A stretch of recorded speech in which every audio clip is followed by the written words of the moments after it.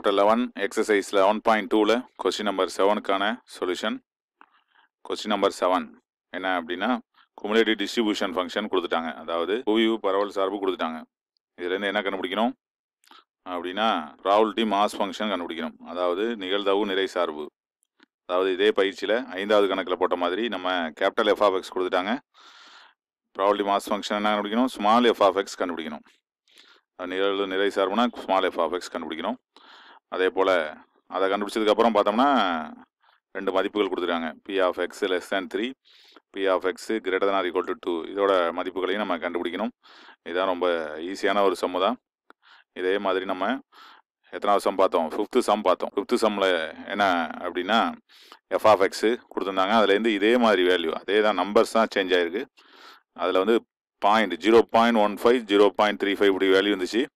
இப்போ இந்த சம்மில் வந்து என்ன இருக்குது ஃப்ராக்ஷனில் இருக்குது பின்னத்தில் இருக்குது அவ்வளோதான் அதனால் ஃபார்முலாஸ் அப்படிங்கிறப்ப இந்த ஃபார்முலா மெயினாக நம்ம இந்த சம்லையும் பயன்படுத்த இருக்கிறோம். என்ன ஃபார்முலானா small F of X I அப்படிங்கிற இந்த இதை வந்து எப்படி எழுதலாம்? Capital F of X I minus அதுக்கு முன்னாடி இருக்கக்கூடிய capital F of X I minus one இதில் நம்ம சப்ஸ்டியூட் பண்ணி கண்டுபிடிக்க போகிறோம் உதாரணமாக எஃப் ஆஃப் டூனா F of capital F of two minus capital F of one அப்படிங்கிற இந்த ஃபார்முலாவை தான் இங்கேயும் பயன்படுத்த போகிறோம் என்னென்னா இங்கே வந்து மைனஸ் பண்ணுறப்ப பாயிண்ட் சம்திங்லேருந்து பாயிண்ட் சம்திங்கை மைனஸ் பண்ணி நம்ம பாயிண்டில் எழுதிட்டோம். இங்கே வந்து எல்சியும் எடுக்கிற மாதிரி இருக்கும். மற்றபடி ஒன்றும் கிடையாது. பெரிய வித்தியாசம் இல்லை. சம் நம்பர் ஃபைவுக்கும் சம் நம்பர் செவனுக்கும் எந்த வித்தியாசமும் இல்லை. ரொம்ப சிமிலர் சம் தான். அதனால் இப்போ நம்ம ஸ்ட்ரைட்டாகவே சமுக்கு போயிடும் தேவையான ஃபார்முலா அப்படிங்கிறது ஒன்றும் பெரிய விஷயம் இல்லை. இதில் கேபிட்டல் எஃப் ஆஃப் எக்ஸ்லேருந்து ஸ்மால் எஃப் ஆஃப் எக்ஸை கண்டுபிடிக்க formula F of X I அப்படிங்கிறது capital F of X I minus capital F of X I minus one அப்படிங்கிற ஃபார்முலா தான் ஓகே அதே போல் பி ஆஃப் எக்ஸ்னாலும் எஃப் ஆஃப் எக்ஸ்னாலும் ஒன்று தான் P of X equal to எக்ஸ்னாலும் F of எக்ஸ்னாலும் ஒன்று தான் நம்ம இந்த சம்மில் தெரிந்து கொள்ள வேண்டும். ஃபஸ்ட்டு என்ன கொடுத்துருக்காங்க? ஃபஸ்ட்டு வந்து ஜீரோவில் என்ன வேல்யூ ஆரம்பிக்குது? மைனஸ் இன்ஃபிலேருந்து ஜீரோ வரைக்கும் ஜீரோ தான்.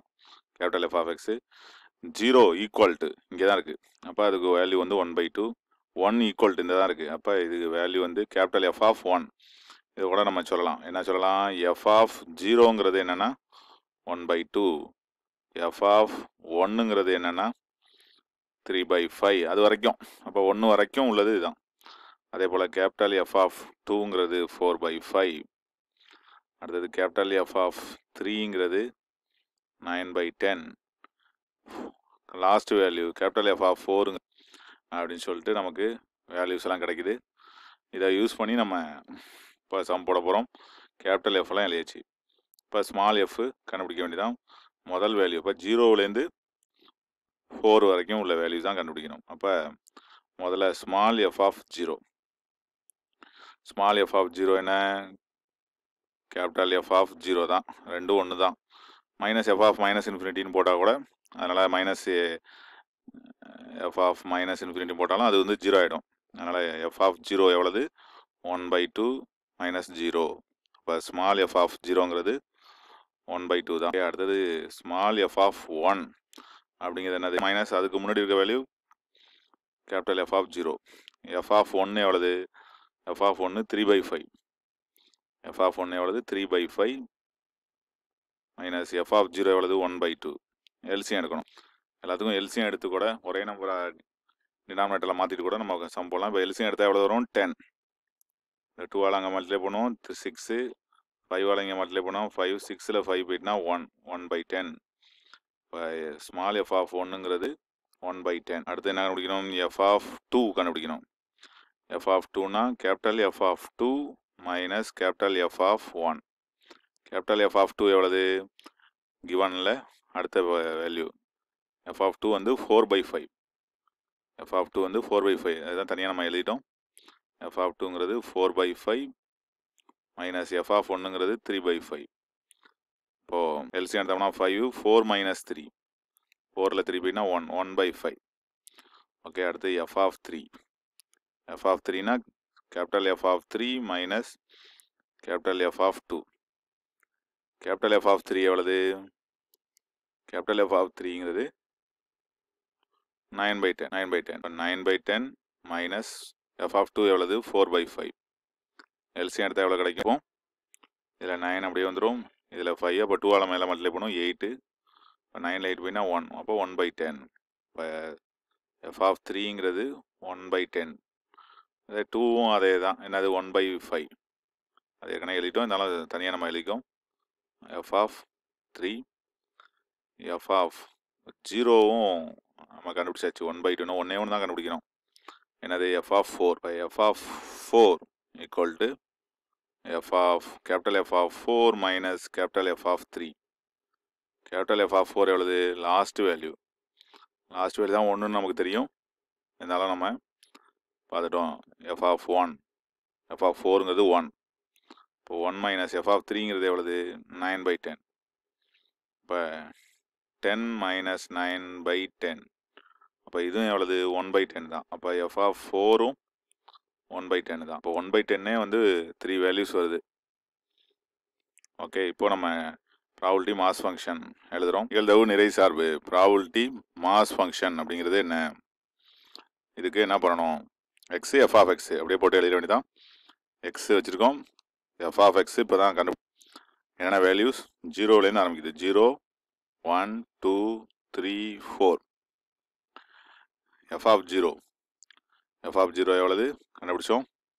One by two F of zero வந்து one by two F of one வந்து one by ten F of டூங்கிறது one by five F of த்ரீங்கிறது one by ten F of ஃபோருங்கிறதும் one by எவ்வளோ divide ஆயிருக்கு? எல்லாத்தையும் எல்சியும் வந்து ten வர மாதிரி கொண்டு வந்தோம்னா இன்னும் கொஞ்சம் நல்லாயிருக்கும் பார்க்குறதுக்கு. இப்போ எல்லாமே டென் கொண்டு வந்தால் என்ன ஆகும்? இது ஒன் பை டூனா என்னது? ஃபைவால் மல்டிப்ளை பண்ணி ஃபைவால் டிவைட் பண்ணோம்னா ஃபைவ் பை டென் இது ஒன் பை டென் இது டூவால் மல்டி பண்ணி டூவால் டூ பை டென் இது ஒரு ஒன் பை டென் இது ஒரு ஒன் பை டென் டோட்டலாக பார்த்தோம்னா four five ten by ten வந்துடுது. இதோட நம்ம எஃப் ஆஃப் எக்ஸாக எடுத்துக்கலாம். தேவைப்பட்டா. ஓகே எல்சியம் எடுக்கிறதுக்கு சிரமமாக இருந்துச்சுன்னா. ஓகே இது ஃபஸ்ட் பார்ட் ஓவர் அடுத்தது செகண்ட் பார்ட் போயிடும் செகண்ட் பார்ட் என்ன கேட்டுறாங்க P of X less than three less than த்ரீக்கு வேல்யூ என்ன? பி ஆஃப் த்ரீ மூன்றை விட குறைவாக இருக்கணும். மூன்றை விட குறைவுனா என்ன?